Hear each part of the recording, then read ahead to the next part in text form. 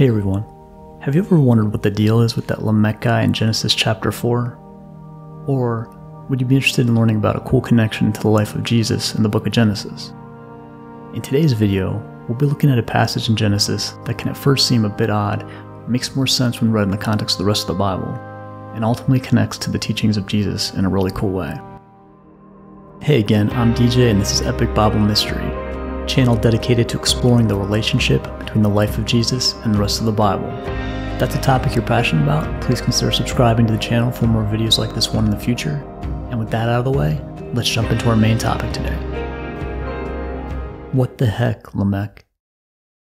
I was recently reading through the book of Genesis and came across a passage about a man named Lamech that rather puzzled me at first.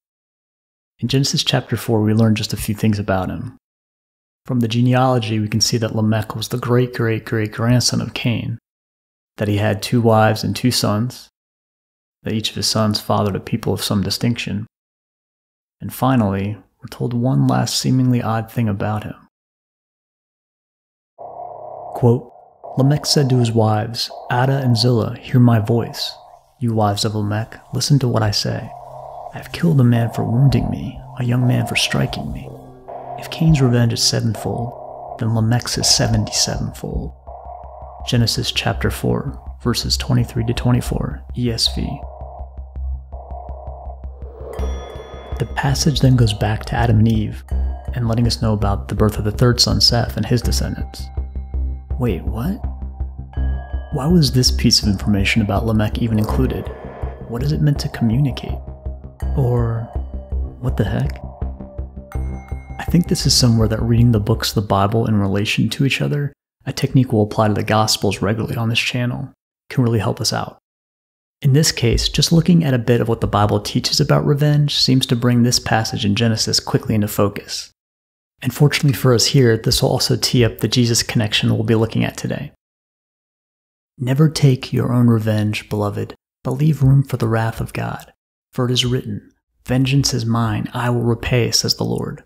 Romans 12:19, quoting Deuteronomy 32:35, NASB. You shall not take vengeance or bear a grudge against the sons of your own people, but you shall love your neighbor as yourself. I am the Lord. Leviticus 19:18, ESV. When we look at what the Bible, or even just the five books of Moses, which includes Genesis, Deuteronomy, and Leviticus that are quoted here, there's a clear message that it's God's place to avenge, and the people of God's role to forgive rather than hold a grudge against their neighbor. Circling back to Lamech's words to his wives, then, we can now see that God's promising to avenge Cain, as Lamech alludes to, is consistent with the Bible's teaching on revenge, and that Lamech's own behavior of avenging himself is not. So, what do you think the purpose of this information in Genesis is? One reasonable interpretation seems to be that we're told this about Cain's great great grandson as a hint at the degeneration of humanity after Adam and Eve and leading up to the flood of Noah. An example of people increasingly being evil and trying to be their own God, in this case, by assuming God's role as avenger. We actually meet Noah in the very next chapter of Genesis, Genesis chapter 5, not long after this. So the context for this passage as foreshadowing the need for the flood seems rather fitting for this interpretation. Okay, one last note before we move on to the Jesus connection, and this is going to be important background for the connection we're going to look at. Other than with God regarding Cain, there are also other places in the Old Testament reflecting God's promise to avenge sevenfold as applying to anyone who harms his chosen people in general. See Psalm 79:12. And also as a possible punishment against his own people for disobedience. See Leviticus 26:21. Now let's pick up the trail back to Jesus. You'll recall Jesus has a lot to say about forgiveness or loving your neighbor and not bearing a grudge as Leviticus 19:18 has it. In fact, there's a point after Jesus lays out how his followers should try to reconcile when wronged by one another that his disciple Peter has a related question for him.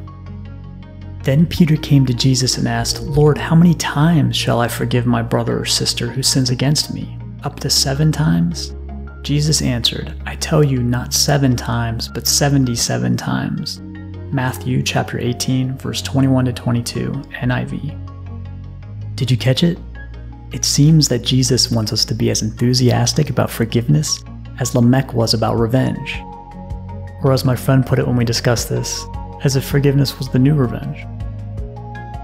Interestingly, Peter seems to have started things in this direction, almost as if he was thinking, now it's God's place to avenge and my place to forgive.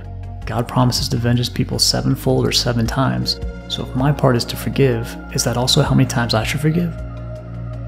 Jesus quickly knows what he's getting at and flips the script on him. Look even to Lamech's enthusiasm about revenge and apply that to forgiveness. In other words, forgive until you lose count, or better yet, just stop counting altogether. Love keeps no record of wrongs. 1 Corinthians 13:5 also comes to mind.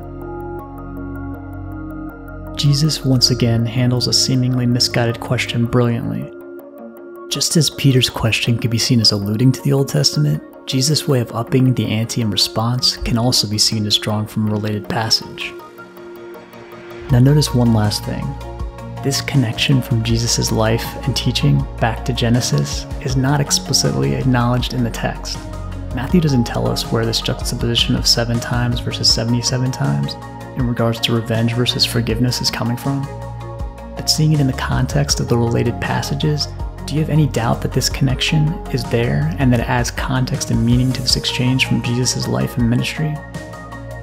Over time, I found the Gospels to be full of connections like this, just waiting to be uncovered like so much ancient buried treasure.